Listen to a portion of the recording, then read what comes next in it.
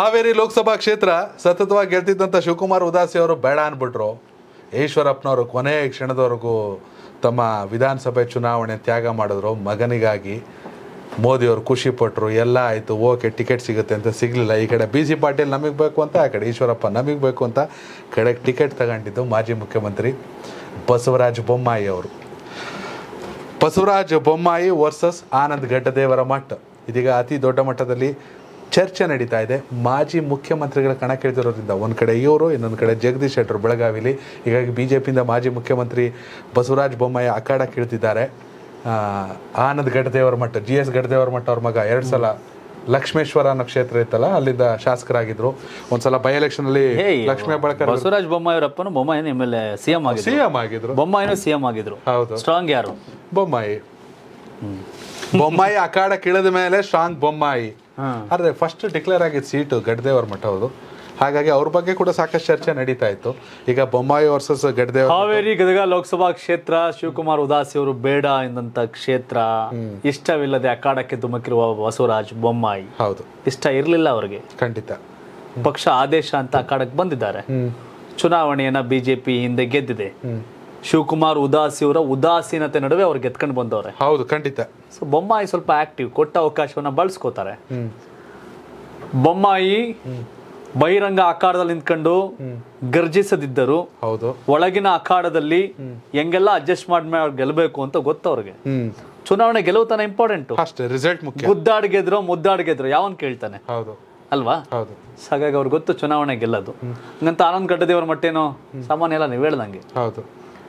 ಅಲ್ಲ ನಾನು ಶಾಸಕರ ವಿಚಾರಕ್ಕೆ ಬಂದರೆ ಆರು ಜನ ಅವರೇ ಕಾಂಗ್ರೆಸ್ ಅವರು. ಬಿ ಜೆ ಡಿ ಎಸ್ ಮೈತ್ರಿ ಎರಡೇ ಲೆಕ್ಕಾಚಾರ. ಅವ್ನ್ ಲೆಕ್ಕಾಚಾರ ಅಂತಂದ್ರೆ ಎಂ ಎಲ್ ಎ ಬೇರೆ ಎಂ ಪಿ ಬೇರೆ. ಬೊಮ್ಮಾಯಿ ಅವ್ರಿಗೆ ಸವಾಲು. ಅವ್ರ ಕೆಪಾಸಿಟಿ ನೋಡ್ತಾನೆ ಸೇಮ್ ಮಾಡಿದ್ದು. ಹೌದು. ಕೆಪಾಸಿಟಿ ನೋಡಿ ಟಿಕೆಟ್ ಕೊಟ್ಟವ್ರೀಗ. ಅವರಿಗೆ ಅದಾಗ ಭಾಳ ಕುತೂಹಲ ನನಗೂ ಅಲ್ವಾ? ಸೇಮ್ ಆಗಿದವರಲ್ಲ ಹೌದು. ನೋಡೋಣ. ಜನಗಳ ಅಭಿಪ್ರಾಯಕ್ಕೆ ಬೇಡ. ಯಾರು ಗೆಲ್ತಾರೆ ಮಾಜಿ ಮುಖ್ಯಮಂತ್ರಿ ವರ್ಸಸ್. ಇಲ್ಲ ಯಾಕೆ ನನಗಿದು ಅಂತಂದ್ರೆ ಮಾಜಿ ಮುಖ್ಯಮಂತ್ರಿ ಗೆಲ್ಲಲ್ವೇ? ಹೌದು. ಸಹಜವಾಗಿ. ಸಹಜ ಬಿಜೆಪಿಗರ ವಿಶ್ವಾಸ? ಕಾಂಗ್ರೆಸ್ಸಿಗರ ಮಾಜಿ ಮುಖ್ಯಮಂತ್ರಿ ಕಾಂಗ್ರೆಸ್ ಅಭ್ಯರ್ಥಿ ಆಗಿದ್ರೆ ಚರ್ಚೆ ಆಗ್ತಿರ್ಲಿಲ್ಲ. ಬಿಜೆಪಿ ಅಭ್ಯರ್ಥಿ ಆಗಿದ್ದಾರೆ. ಜೊತೆಗೆ ಮೋದಿ ಫ್ಯಾಕ್ಟರ್ ಹಾಗಾಗಿ ಏನ್ ಕಾಂಗ್ರೆಸ್ ಅವ್ರು ಹೇಳ್ತಾರೆ ನಾವೇನ್ ಕಡ್ಲೆಪುರಿ ತಿಂತಿದೀವ? ಹೌದು. ನಾವು ಚುನಾವಣೆ ಮಾಡ್ತೀವಿ ಅಂತ ಕಾಂಗ್ರೆಸ್ ಅವ್ರು ಹೇಳ್ತಿದ್ದಾರೆ. ಕುರುಬ ಸಮುದಾಯ ಮುಸಲ್ಮಾನ ಸಮುದಾಯ ಐಂದ ಮತಗಳು ಒಂದಾದರೆ ಪ್ರಕಾಶ್ ಕೋಳಿವಾಡ್ ಅಲ್ಲಿ H K Patil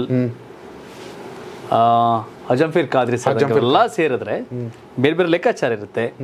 ಬೊಮ್ಮಾಯಿ ನಾನು ಆಗ್ಲೇ ಹೇಳಿದೆ. ಗೆಲುವು ಎರಡು ರೀತಿ ಆಗುತ್ತೆ ಯೋಗಿ ಅವರ. ಎದುರಾಳಿಯನ್ನ ಗುದ್ದಾಡಿ ಮಣ್ಸೋದು ಬೇರೆ. ಮುದ್ದಾಡಿ ಮಣ್ಸೋದು ಬೇರೆ. ಅಡ್ಜಸ್ಟ್ಮೆಂಟ್ ಅಂದ್ರೆ ಮುದ್ದಾಡಿ ಮಣ್ಸೋದು ಬೇರೆ. ಬೊಮ್ಮಾಯಿ ಅವರು ಎಲ್ಲಾ ಕಲೆಯನ್ನ ಕರಗತ ಮಾಡ್ಕೊಂಡವ್ರೆ. ನೋಡೋಣ ಏನಾಗುತ್ತೆ ಅಂತ. ತಾವೇನ್ ಹೇಳ್ತೀರಿ ವೀಕ್ಷಕರೇ? ಗೆಲ್ಲೋದು ಯಾರು? ಹೌದು. ಹಾವೇರಿ ಲೋಕಸಭಾ ಕ್ಷೇತ್ರದ ಸಂಸದರು ಯಾರಾಗಬೇಕು ಅನ್ನೋದು ಕಾಮೆಂಟ್ ಮಾಡಿ ಹಾಗೆ ಯಾರು ಪ್ರಧಾನಿ ಆಗಬೇಕು? ನರೇಂದ್ರ ಮೋದಿ ಅವರ ರಾಹುಲ್ ಗಾಂಧಿನ ಕಾಮೆಂಟ್ ಮೂಲಕ ತಿಳಿಸಿ. ಧನ್ಯವಾದಗಳು ಇದು ಕರ್ನಾಟಕ ಟಿವಿ ಕನ್ನಡಿಗರ ಧ್ವನಿ. ಜನ ಪ್ರತಿದಿನ ಟೈಮ್ ಸರಿಯಾಗಿ ಊಟ ಮಾಡ್ತಾರೋ ಬಿಡ್ತಾರೋ? ಆದರೆ ಪೊಲಿಟಿಕಲ್ ಟ್ರೆಂಡ್ ಏನಿದೆ ಅಂತ ಪ್ರತಿದಿನ ಪ್ರತಿ ಕ್ಷಣ ಕಾಯ್ತಿರ್ತಾರೆ. ಕರ್ನಾಟಕದ ಅಖಾಡದಲ್ಲಿ ಯಾವ ಅಭ್ಯರ್ಥಿ ಅಬ್ಬರಿಸಿದ್ರು, ಮತ್ಯಾವ ಅಭ್ಯರ್ಥಿ ತತ್ತರಿಸಿದ್ರು ಅಂತ ನೋಡೋಕೆ ಕಾತರದಿಂದ ಕಾಯ್ತಿರ್ತಾರೆ. ಇಪ್ಪತ್ತೆಂಟು ಕ್ಷೇತ್ರಗಳ ಪ್ರತಿದಿನದ ಪಬ್ಲಿಕ್ ಪಲ್ಸ್ ಏನು, ಪ್ರಚಾರದಲ್ಲಿ ಯಾರ ಮುಂದೆ, ಯಾರ ಹಿಂದೆ, ಎಲ್ಲ ಮಾಹಿತಿಯನ್ನ ನಾವು ಕೊಡ್ತೇವೆ. ಕರ್ನಾಟಕ ಕುರುಕ್ಷೇತ್ರ, ಇಪ್ಪತ್ತೆಂಟು ಕ್ಷೇತ್ರಗಳ ಡೈಲಿ ನ್ಯೂಸ್ ಪ್ರತಿದಿನ ರಾತ್ರಿ ಎಂಟು ಗಂಟೆಗೆ. ಯೂಟ್ಯೂಬ್ನಲ್ಲಿ ಕರ್ನಾಟಕ ಟಿವಿ ಅಂತ ಸರ್ಚ್ ಮಾಡಿ, ನಂತರ ನಮ್ಮ ಕರ್ನಾಟಕ ಟಿವಿ ಸಬ್ಸ್ಕ್ರೈಬ್ ಮಾಡಿ, ಸಬ್ಸ್ಕ್ರೈಬ್ ಆದಮೇಲೆ ನಿಮಗೆ ಹೋಮ್ ಪೇಜ್ ಬಂದರೆ ಕಮ್ಯುನಿಟಿ ಅನ್ನೋ ಆಪ್ಷನ್ ಸಿಗುತ್ತೆ. ಈ ಕಮ್ಯುನಿಟಿ ಆಪ್ಷನ್ ಕ್ಲಿಕ್ ಮಾಡಿದ್ರೆ ನಿಮ್ಮ ಕೆಳಗಡೆ ಇಪ್ಪತ್ತೆಂಟು ಲೋಕಸಭಾ ಕ್ಷೇತ್ರಗಳ ಒಂದು ಪೋಲ್ ಕ್ರಿಯೇಟ್ ಮಾಡಲಾಗಿದೆ. ನೀವು ಹೋಗಿ ಇಪ್ಪತ್ತೆಂಟು ಕ್ಷೇತ್ರಗಳಲ್ಲಿ ಯಾರು ಗೆಲ್ತಾರೆ, ಯಾರು ಗೆಲ್ಲಬೇಕು ನಿಮ್ಮ ಸಪೋರ್ಟ್ ಯಾರಿಗೆ ಅಂತ ಅಲ್ಲಿ ನೀವು ಕ್ಲಿಕ್ ಮಾಡ್ಬೋದು, ಅಂದರೆ ವೋಟ್ ಮಾಡ್ಬೋದು. ಇಲ್ಲೇನು ವೋಟಿಂಗ್ ಆಗುತ್ತೆ, ನಾವು ಪ್ರತಿದಿನ ನಾವು ನ್ಯೂಸಲ್ಲಿ ನಿಮಗೆ ಅಪ್ಡೇಟ್ ಮಾಡ್ತಿರ್ತೀವಿ. ಇದು ಮತದಾನದ ದಿನದವರೆಗೂ ಕೂಡ ಈ ಪೋಲಿಂಗ್ ಓಪನ್ ಇರುತ್ತೆ.